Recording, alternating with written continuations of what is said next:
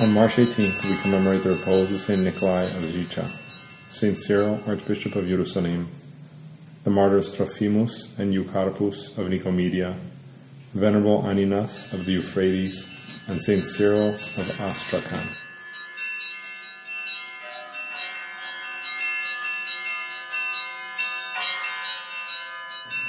Saint Nikolai of Zhicha, the Serbian Chrysostom, was born in Lelic in western Serbia on January 4, 1881.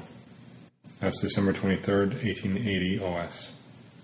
His parents were Dragomir and Catherine Velimirovic, who lived on a farm where they raised a large family. His pious mother was a major influence on his spiritual development, teaching him by word and especially by example. As a small child, Nikolai often walked three miles to the Chelije monastery with his mother to attend services there. Sickly as a child, Nikolai was not physically strong as an adult. He failed his physical requirements when he applied to the military academy, but his excellent academic qualifications allowed him to enter the St. Sava Seminary in Belgrade even before he finished preparatory school. After graduating from the seminary in 1905, he earned doctoral degrees from the University of Bern in 1908 and from King's College, Oxford in 1909. When he returned home, he fell ill with dysentery, vowing to serve God for the rest of his life if he recovered. He was tonsured at the Rakovica monastery on December 20, 1909, and was also ordained to the holy priesthood. In 1910, he went to study in Russia to prepare himself for a teaching position at the seminary in Belgrade. At the Theological Academy in St. Petersburg, the provost asked him why he had come. He replied, I wanted to be a shepherd. As a child, I tended my father's sheep. Now that I am a man, I wish to tend the rational flock of my heavenly Father. I believe that is the way that has been shown to me. The provost smiled, pleased by this response, then showed the young man to his quarters. After completing his studies, he returned to Belgrade and taught philosophy, logic, history, and foreign languages at the seminary. He spoke seven languages, and this ability proved very useful to him throughout his life. St. Nikolai was renowned for his sermons, which never lasted more than 20 minutes and focused on just three main points. He taught people the theology of the church in a language they could understand and inspired them to repentance. At the start of World War I, Archimandrite Nikolai was sent to England on a diplomatic mission to seek help in the struggle of the Serbs against Austria. His doctorate from Oxford gained him an invitation to speak at Westminster Abbey. He remained in England for three short months, but St. Nikolai left a lasting impression on those who heard him. His writings, The Lord's Commandments, and Meditations on the Lord's Prayer impressed many in the Church of England. Archimandrite Nikolai left England and went to America, where he proved to be a good ambassador for his nation and his church. The future saint returned to Serbia in 1919, where he was consecrated as Bishop of Zhicha and was later transferred to Ohrid. The new hierarch assisted those who were suffering from the ravages of war by establishing orphanages and helping the poor. Bishop Nikolai took over as the leader of Bogomolzhik Pokret, a popular movement for spiritual revival which encouraged people to pray and read the Bible. Under the bishop's direction, it also contributed to a renewal of monasticism. Monasteries were restored and reopened, and this in turn revitalized the spiritual life of the Serbian people. In 1921, Bishop Nikolai was invited to visit America again and spent two years as a missionary bishop. He gave more than a hundred talks in less than six months, raising funds for his orphanages. Over the next 20 years, he lectured in various churches and universities. When Germany invaded Yugoslavia on April 6, 1941, Bishop Nikolai, a fearless critic of the Nazis, was arrested and confined in Ljubostir Vojlović Monastery. In 1944, he and Patriarch Gavrilo were sent to the death camp at Dachau. There he witnessed many atrocities and was tortured himself. When American troops liberated the prisoners in May 1945, the Patriarch returned to Yugoslavia, but Bishop Nikolai went to England. The communist leader Tito was just coming to power in Yugoslavia, where he persecuted the church and crushed those who opposed him. Therefore, Bishop Nikolai believed he could serve the Serbian people more effectively by remaining abroad. He went to America in 1946 following a hectic schedule in spite of his health problems, which were exasperated by his time in Dachau. He taught for three years at St. Sava's Seminary in Libertyville, Illinois, before he settled at St. Tikhon's Monastery in South Canaan, Pennsylvania in 1951. He taught at St. Tikhon's and also served as the seminary's dean and rector. He was also a guest lecturer at St. Vladimir Seminary in New York and at Holy Trinity Monastery in Jordanville, New York. On Saturday, March 17, 1956, Bishop Nikolai served his last liturgy. After the service, he went to the trapeza and gave a short walk. As he was leaving, he bowed low and said, Forgive me, brothers. This was something unusual which he had not done before. On March 18, 1956, St. Nikolai fell asleep in the Lord, whom he had served throughout his life. He was found in his room kneeling in an attitude of prayer. Though he was buried at St. Sava's Monastery in Libertyville, Illinois, he had always expressed the desire to be buried in his homeland. In April of 1991, his relics were transferred to the Chetinya Monastery in Lelich. There he was buried next to his friend and disciple, Father Justin Popovich, 1979. English readers are familiar with St. Nikolai's prologue from Ohrid, The Life of St. Sava, a treasury of Serbian spirituality, and other writings which are of great benefit for the whole Church. He thought of his writings as silent sermons addressed to people who would never hear him preach. In his life and writings, the grace of the Holy Spirit shone forth for all to see, but in his humility he considered himself the least of men. Though he was a native of Serbia, St. Nikolai has universal significance for Orthodox Christians in all countries. He was like a candle set upon a candlestick, giving light to all. A spiritual guide and teacher with a magnetic personality, he attracted many people to himself. He also loved them, seeing the image of God in each person he met. He had a special love for children who hastened to receive his blessing whenever they saw him in the street. He was a man of compunction prayer and possessed the gift of tears which purify the soul.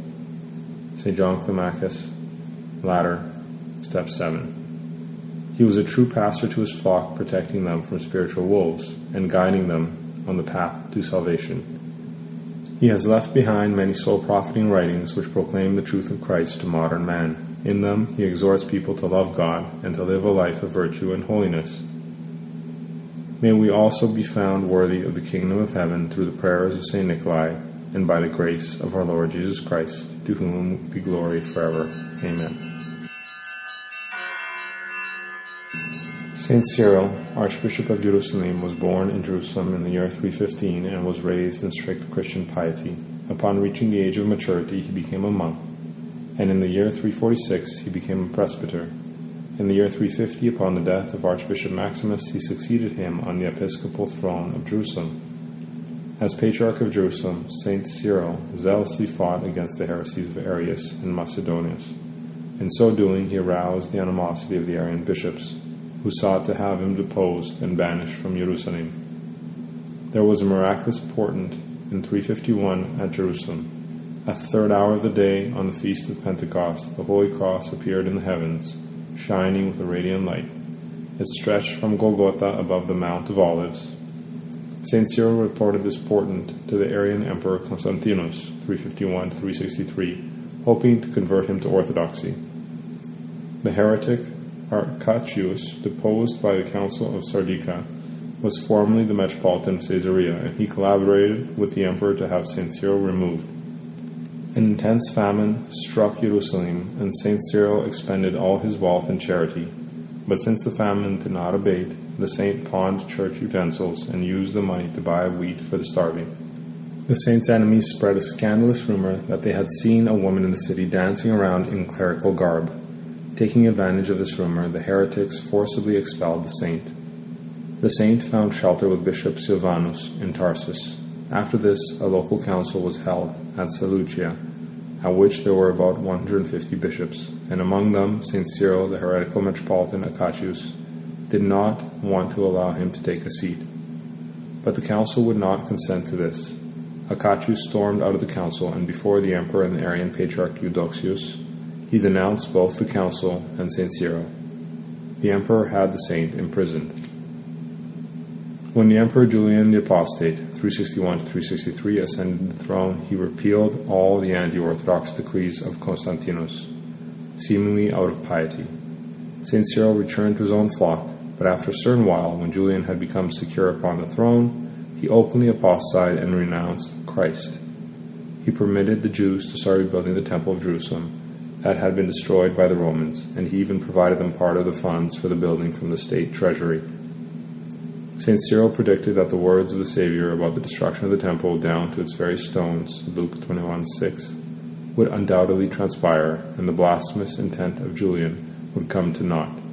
Soon there was such a powerful earthquake that even the solidly set foundation of the ancient temple of Solomon shifted in its place, and what had been rebuilt fell down and shattered into dust. When the Jews resumed construction, a fire came down from the heavens and destroyed the tools of the workmen. Great terror seized everyone. On the following night, the sign of the cross appeared on the clothing of the Jews, which they could not remove by any means. After this heavenly confirmation of St. Cyril's prediction, they banished him again, and the bishop's throne was occupied by St. Cyriacus.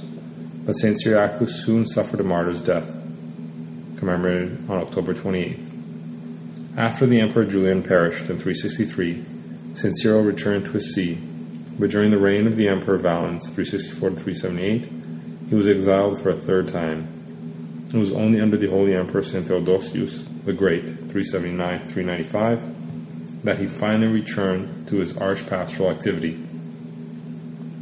In 381, St. Cyril participated in the Second Ecumenical Council, which condemned the heresy of Macedonius and affirmed the Nicaea Constantinople symbol of faith, the Creed. St. Cyril's works include 23 instructions, 18 are catechetical, intended for those preparing for baptism, and 5 are for the newly baptized. Two discourses on gospel themes, on the paralytic and concerning the transformation of water into wine at Cana. At the heart of the catechetical instructions is a detailed explanation of the symbol of faith. The saint suggests that a Christian should inscribe the symbol of faith upon the tablets of the heart. The articles of the faith, St. Cyril teaches, were not written through human cleverness, but they contain everything that is most important in all the scriptures in a single teaching of faith.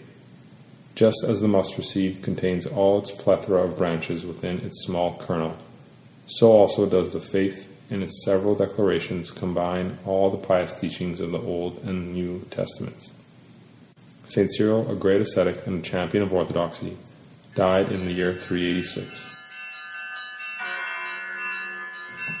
The holy martyrs Trophimus and Eucarpion were soldiers at Nicomedia during the persecution against Christians under the Emperor Diocletian, 284 to 305. They distinguished themselves by their great ferocity in carrying out all the emperor's decrees. Once, when these soldiers had caught up with some Christians, they suddenly saw a large fiery cloud which had come down from the sky, thickening in form as it drew close to them. From out of the cloud came forth a voice Why are you so zealous in threatening my servants? Don't be deluded. No one can suppress those believing in me through their own strength. It is better to join them and discover the heavenly kingdom yourselves.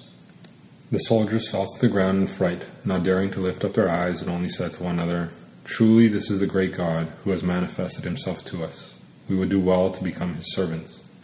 The Lord then spoke, saying, Rise up, repent, for your sins are forgiven. As they got up, they beheld within the cloud the image of a radiant man and a great multitude standing about him. The astonished soldiers cried out with one voice, Receive us, for our sins are inexpressibly wicked. There is no other God but you, the Creator and true God, but we are not yet numbered among your servants. But just as they spoke this, the cloud receded and rose up into the sky. Spiritually reborn after this miracle, the soldiers released all the jailed Christians from the prisons for this, Saints Trophimus and Eucarpion were handed over to terrible torments. They suspended the saints and tore their bodies with iron hooks. They gave thanks unto God, certain that the Lord would forgive them their former sins. When a fire had been lit, the holy martyrs went willingly into the fire and there gave up their souls to God. Saint Aninas was born at Chalcedon into a Christian family. After the death of his parents, he withdrew at age 15 into a monastery, where he received monastic tonsure. In search of complete solitude, he went off into the heart of the desert, where the river Euphrates separates Syria from Persia. There he came upon an elder named Mayum, and settled there with him. Both ascetics led a very strict life. During the forty days of the great fast, they ate nothing, taking delight and joy instead in spiritual nourishment. Every day, St. Aninas carried drinking water from afar. Once he returned with full water pitchers earlier than usual, since an angel had filled the vessels with water. The elder Mayum realized that his disciple had attained a high level of spiritual accomplishment, and he in turn asked St. Aninas to become his guide, but the saint refused out of humility. Later, the elder went to a monastery, and St. Aninas remained alone in the wilderness. By constant struggles, the saint conquered the passions within himself, and he was granted gifts of healing and clairvoyance. Even the wild beasts became docile and served him. Wherever the saint went, two lions followed after him, one of which he had healed of a wound on his paw. Accounts of the saint spread throughout all the surrounding area, and the sick and those afflicted by evil spirits began to come to him, seeking healing. Several disciples also gathered around the saint. Once, in his seventeenth year as an ascetic, several men had come to the saint and asked for something to quench their thirst. Relying on the power of God, the saint sent one of his disciples to a dried up well. The well miraculously filled up to its very top, and this water remained for many days. When the water ended, the saint did not dare to ask for a miracle for himself, and so he began to carry water from the Euphrates at night. Bishop Patrick of Neo Caesarea repeatedly visited the monk and ordained him presbyter, although the humble ascetic was resolved not to accept the priestly office. When he learned that the saint himself carried water from a distance, Bishop Patrick twice gave him donkeys, but each time St. Aninas gave them away to the poor and continued to carry the water himself. Then the bishop ordered that a large well be dug, which they filled from time to time, bringing donkeys from the city. St. Aninas discerned the desire of a certain stylite monk, who struggled far from him to come down off his pillar and make a complaint in court against a robber who had hurt him with a stone. St. Aninas wrote a letter to the stylite, advising him not to carry out his intent. The letter was brought to the stylite by a trusty lion, and it brought him to his senses. A certain pious woman who had fallen ill went to St. Aninas to ask for his prayers. Along the way, a robber chanced upon her, since the woman had no money he decided to assault her and force her into sin. The woman called on the saint's help and cried out, Saint Aninas, help me! Terror suddenly overcame the robber, and he let go of the woman. The woman went to Saint Aninas and told him everything, and she also received healing. The robber also came to the monk in repentance, was baptized, and then tonsured as a monk. A spear which he had thrust into the ground when he attacked the woman grew into a mighty oak.